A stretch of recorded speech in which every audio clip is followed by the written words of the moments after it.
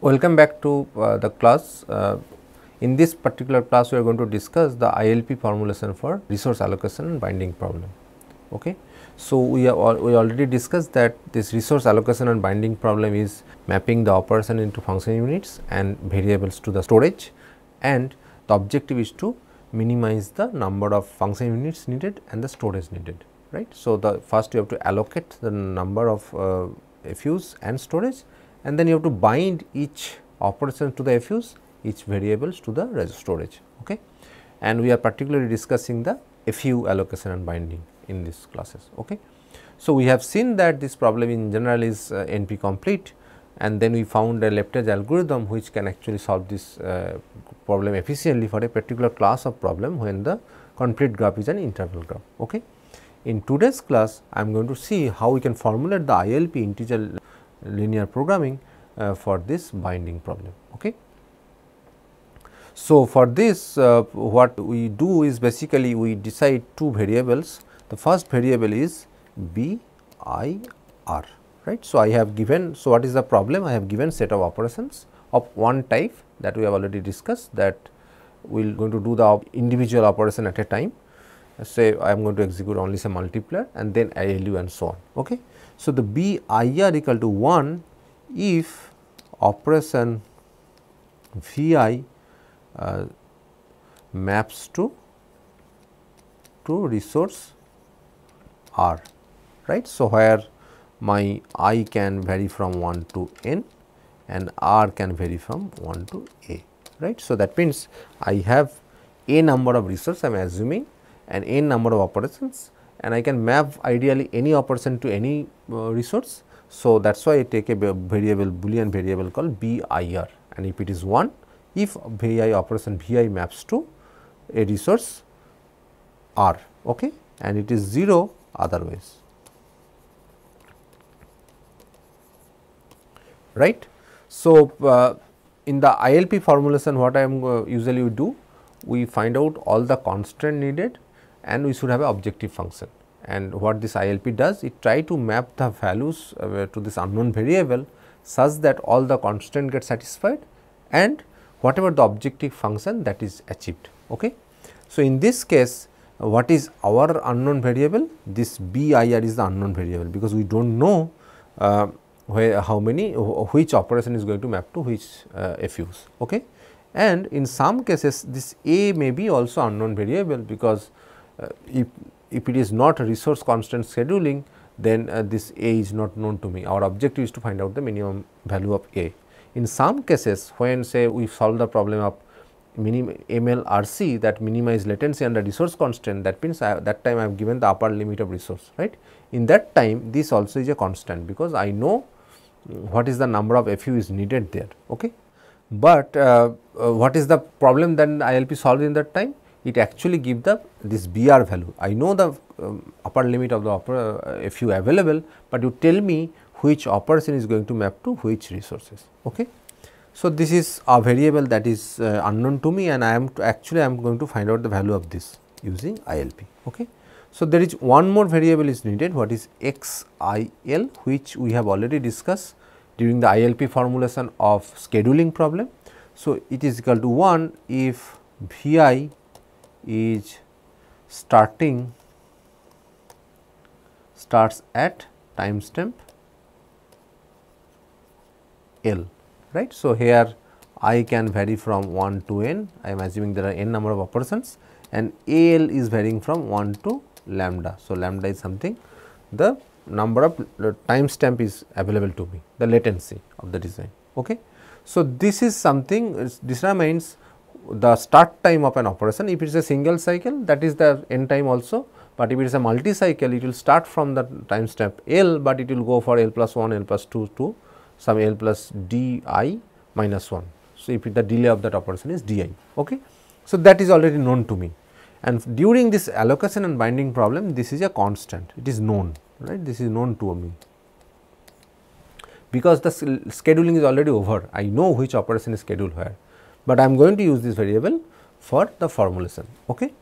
So, what is the uh, constant? Let us try to find out the constant. The first constant says that you have the operations right. I want to map them to a few. How I am going to map this? I am going to make sure that each operations is going to be executed uh, can be mapped to only one and only resource. Okay. So, that means one operation I am going to map to only one of uh, FU not to multiple FUs which is quite logical right. So, this all, all operations is going to execute only once right and just mapping them to one FU is sufficient right and that is also needed. So, this is the first constant. So, what is saying that here that summation of BIR uh, for each I each type of operation for all resource available uh, is 1. So, suppose if your operation is 1 that means B 1 1 plus B 1 2 plus B 1 3 dot dot B plus B 1 A equal to 1. That means, operation 1 can be my either mapped to uh, resource 1, resource 2 or resource 3 and resource 4. Similarly, I have to do for operation all operations. So, then let us say this is the nth operation then b n 2 plus b n 3 b n a equal to 1 that means operation n is either going to be mapped to resource 1 or 2 or 3 or dot dot or a that means at most one of this variable will be 1 right because I make the summation 1. So, it will ensure that each operation is going to map to only one FU. Okay. The next one is, uh, so it is a hardware resource, you assume that there is a FU, there is a multiplier. In one clock, it can execute only one operation, although I map 3 multiplier to that FU, that particular uh, FU or multiplier, I can only execute one of the assigned operation in a particular clock, right. What does it mean?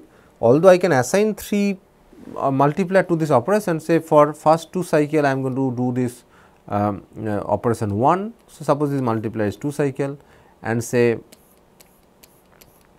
say operation 3 and 4 I am going to do the operation 3 and say for uh, operation uh, 7 is going to map for uh, time step 3 and 4. But at a time I can only execute one of the operation because it cannot do more than one operation at a time right. So, that also to be uh, assumed right. How I can do that uh, given by this constant let us understand. So, the first thing is that what is try to find out let us assume that this term gives the operations which is live at timestamp L it is going for all timestamp right. So, I am going for timestamp 1 I will make sure that only one operation is mapped to a, few I will go to timestamp 2 I am going to ma make sure that only one operation is executing in timestamp 2 in timestamp 3 I will make sure that only one operation is executing in timestamp 3 and so on right. So, how can do that? I have to identify all the operations which will be live at a particular timestamp. How can I find that? So, if I am in say timestamp L, so if the operation starting from here then it is also live right. So, suppose this op operation is multiple cycles right. If it starts the previous cycle and still going on then also it is live here right or it can go till the step and it is actually finishing here right. So, then where it can start? So, L minus d i, d i is the delay of the things plus 1. So, if it is starting here then is going to this will be the last step because it is a d cycle operation. Okay.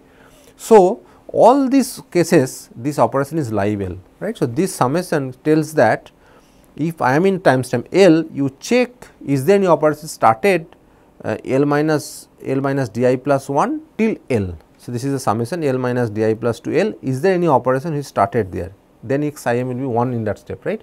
If it is started there and the delay is d i then operation is live and then I am going to consider. So, this is this tells the all the operation that are live in a particular time stamp and then what I am multiplying with that I am multiplying with that operation that are actually all the operations that are mapped to this particular resource right. I am taking a resource at a time. So, I am going to consider resource 1 I will identify all the operations that are going to map to resource 1, I will identify all those operations that are mapped to resource 1 and I will check among these operations how many of them actually live in a particular time step L and this sum of multiplication should be less than equal to 1. So, it makes sure that at most one of the live operation in every time stamp is executing uh, in that uh, in resource R right and the R can vary from 1 to a and this I will go for all time steps. So, it is basically how many constant will be there? The constant will be L into R because for each time step for each resource I will get one such constant and how many this kind of resource will get? This I will get for each type of operation. So, it will be n right. So, I will have n number of constant here L into R number of constant here and that is sufficient right for mapping. Then uh, what is the ILP formulation? So, if I assume that my A is not known, it is basically minimization of resource under latency constraint scheduling, then I need to identify A, right. So, then my objective function will be minimize A subject to the uh, unique binding, unique execution of the operations and the boolean is the BIR is equal to boolean variable, right. So, if I give these things to a ILP solver, it will give me the value of this BIR such that this is the minimum value. For this MLRC where R is known, the resource is known, I do not need this, right. I just give this constraint and I just uh, ask the ILP solver give a value that satisfy all the constraint because this is this is known to me, right. Some constant is given. So, then what this ILP solver does it actually only give me uh, the mapping of this operation to the resource available. Okay. There can be third use of this. So, I do not know A and I want to see whether A is one, uh, say I try to find out the minimum value of A and how can I found that?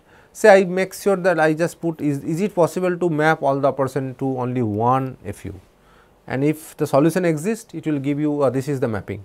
If not it will say the, the constant is not satisfied that means given the constant I cannot execute everything in uh, FU1 only one uh, multiplier right. So, then I can increase it to 2 I can ask the question to ILP solver again if it can give a solution that means 2 is the minimum number if not then you can go for 3 and so on right. So, either I can give this constant minimize or I can just check this one by one and check what is the minimum value right.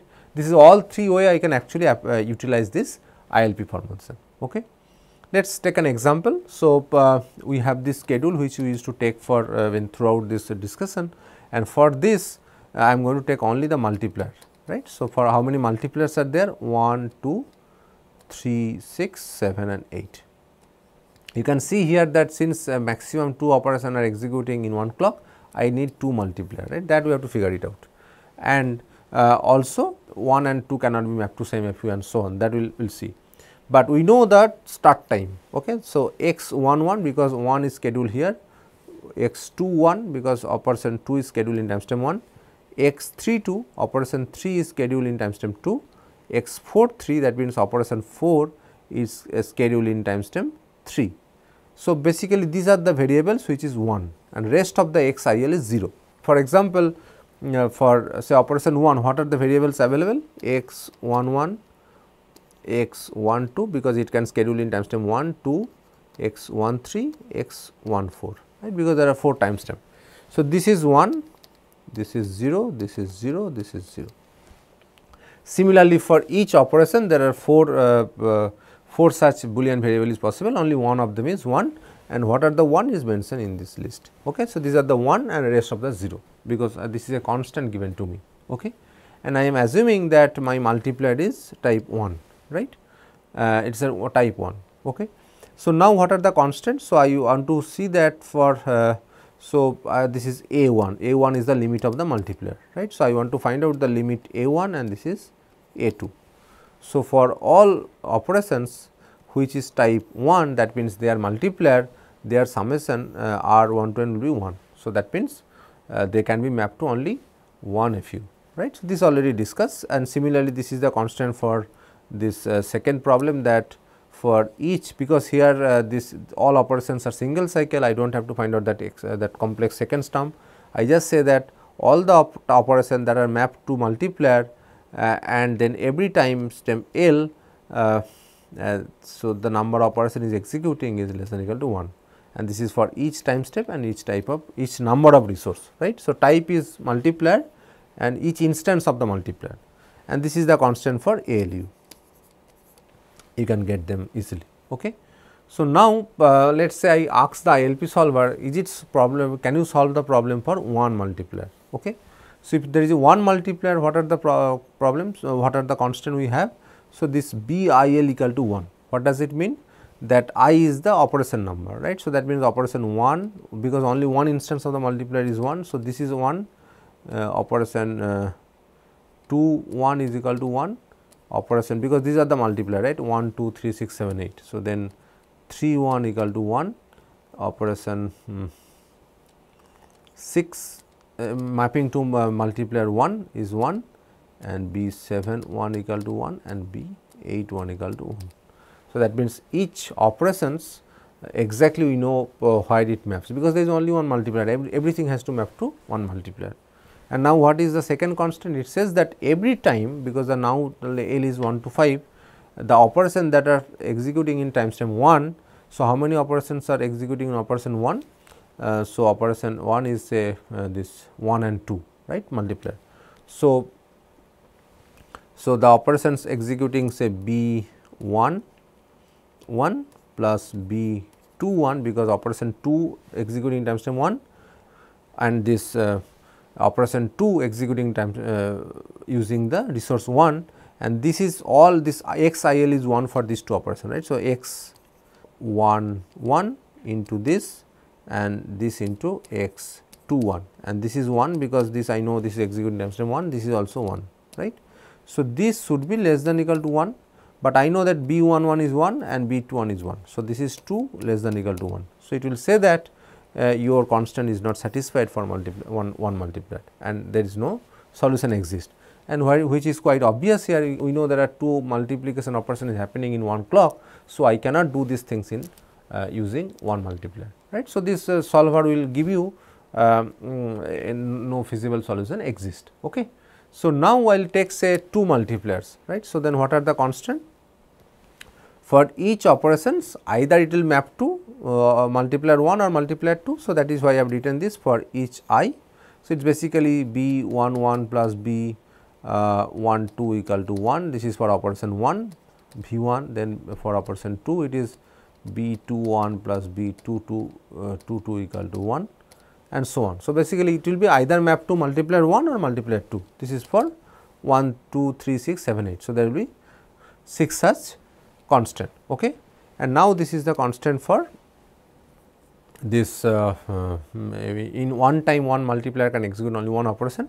So, for each uh, type 1 so say this is for multiplier 1 this is for multiplier 1 because there are two multipliers uh, for multiplier 1 if uh, these operations are mapped to multiplier 1 then all the operations running in time step 1 I mean time step L should be less than equal to 1 right. So, you will get how many constant here so, because there are uh, 5 uh, time stamps. So, there are 5 constant I will get here and for multiplier 2 I will get 5 constant. So, there are 10 constant here and 6 constant here. So, total 16 constant I will get and if you try to write this. So, it basically says that all the operations uh, which is say for time stamp 1 I know only 1 and 2 is executing right. So, what will happen? So, B um, 1 1 into x 1 1 plus B uh, this is operation 2 1 into x